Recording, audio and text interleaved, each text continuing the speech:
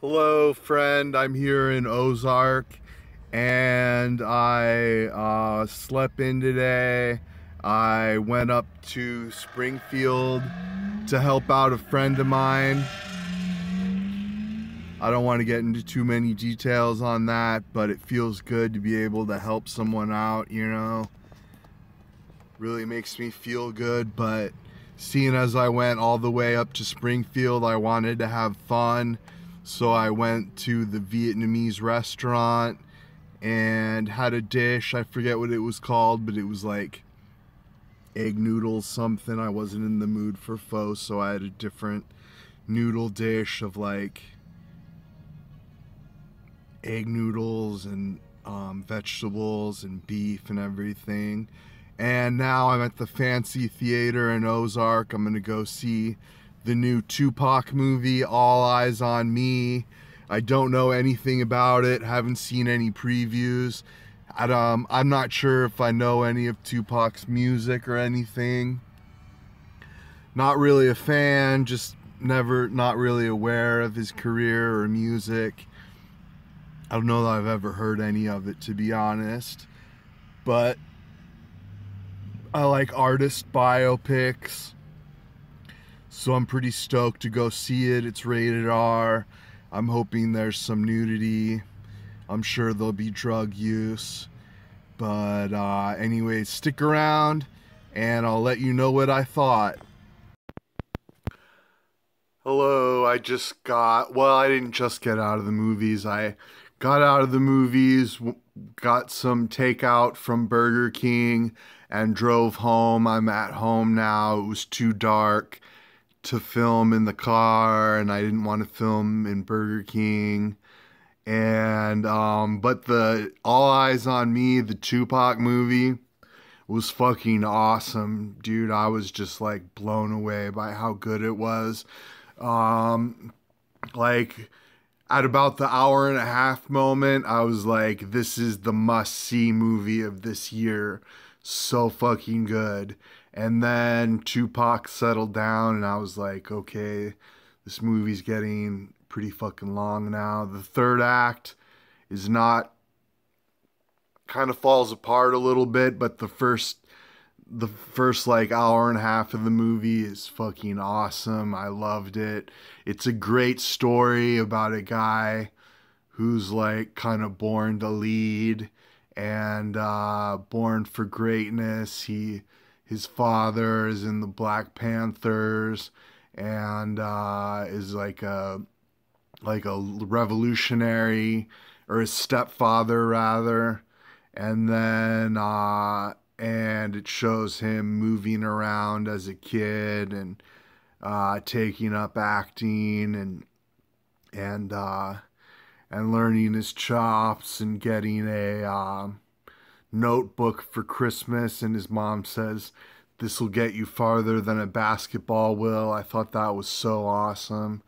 Uh, and great music like I I know in the first part of this video I said I didn't know Tupac's music that well, but I actually was a fan of Digital Underground back in the day. And uh, a couple of his songs I recognize, like California Knows How to Party. I know that one pretty well. And I'm a big fan of that one. And, um, but it was just amazing, man. I love it. And gangster rap is not that different. I hear my cats climbing up on the bed. But uh, gangster rap is not that different from punk rock. I think they have a lot in common. And I didn't grow up listening to gangster rap. I don't know a lot about it, but I know when I hear it, I, I'm really into it and really enjoy it.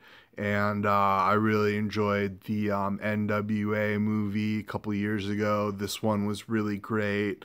I love the stories. Like I say, you know, uh, in the third act, I'm kind of like, well, what's going on with the whole East Coast West Coast thing? And, eh, but that's all right. Um, and then I did, and then this movie had a tough, uh, a tough time, I think, because you got a rabid fan base. I mean, Tupac was insanely popular, You got people who love Tupac and know his whole life story. And then you got people like me who aren't real familiar with them, don't know much of the facts. So like they the filmmakers had to please both people, I think. And one thing that felt glossed over to me was the feud between Tupac and Notorious B.I.G. Um, the, it's it seemed like they had a beef and maybe and, and maybe uh, like uh, Tupac got shot and robbed, and uh, he got framed. It looked like, and uh, and then it seemed like maybe Notorious B.I.G. and this other dude had something to do with it, but I wasn't exactly sure. And there, like, uh, there was a scene where I think the the lyrics were supposed to tell you. Uh,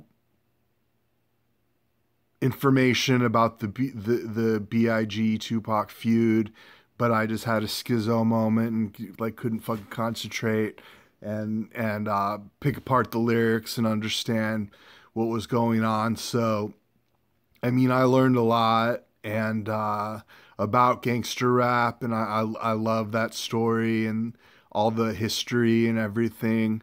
But at the same time, there was a few things I was uh, confused about. Uh, I'm sure I'm sure my friend Andy Simpson can fill me in if I go talk to him. And then I actually met this really nice dude and his girlfriend at the movies, and we were talking about the movie a little bit. And uh, I should have asked them because they seem to know more than I did, but. So I was a little bit confused at one, only one point of the movie, but I, I highly recommend you go see this movie. It was so good. Um, that whole story is just so fascinating. Death Row Records and all of the gangster rappers. I'm just so into it and uh, find it fascinating. Really well made movie. Um, great acting. Uh, it looked really good. It did have nudity, which I was happy about. And uh, just totally awesome. So I strongly, strongly recommend you go see this movie. It was really, really good. And thanks for watching. Please leave a comment.